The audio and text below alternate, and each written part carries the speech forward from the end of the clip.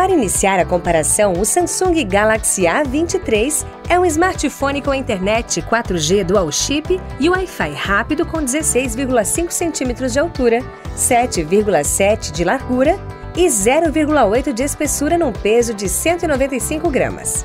Por sua vez, o Infinix Hot 11S também é um aparelho com internet 4G dual chip e Wi-Fi rápido, mas com 16,9 centímetros de altura, 7,6 de largura e 0,9 de espessura num peso de 199 gramas.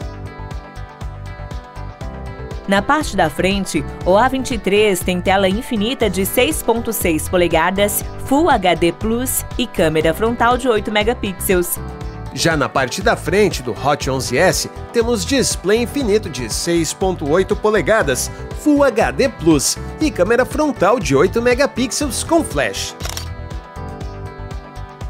Agora, na parte traseira do A23, vem a câmera principal quádrupla de 50, 5, 2 e 2 megapixels com flash. Enquanto isso, a parte traseira do Hot 11S traz câmera principal tripla de 50 megapixels, 2 megapixels e VGA com flash. Para rodar jogos e aplicativos, o A23 foi lançado com o sistema Android 12 e processador octa-core junto com 4 GB de memória RAM.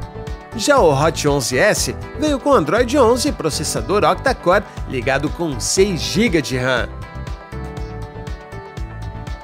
Além da bateria 5000, o A23 tem armazenamento de 128 GB para salvar seus apps, fotos e vídeos, expansível até mais 1 TB.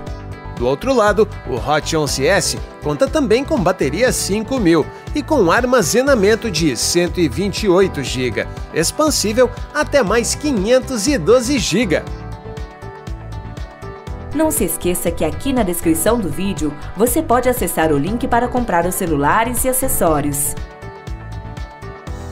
Antes dos preços, os destaques finais do A23 são o sensor de digitais na lateral do aparelho e as câmeras com estabilização ótica. E os destaques finais do Hot 11S são o sensor de digitais na lateral do aparelho, os alto-falantes estéreo e as câmeras com inteligência artificial. Atualmente, o A23 pode valer a pena na seguinte faixa de preço. E é claro que ele traz tecnologia NFC para pagamentos e demais funções. Já o Hot 11S pode ser uma boa nos seguintes preços. E ele também vem com tecnologia NFC.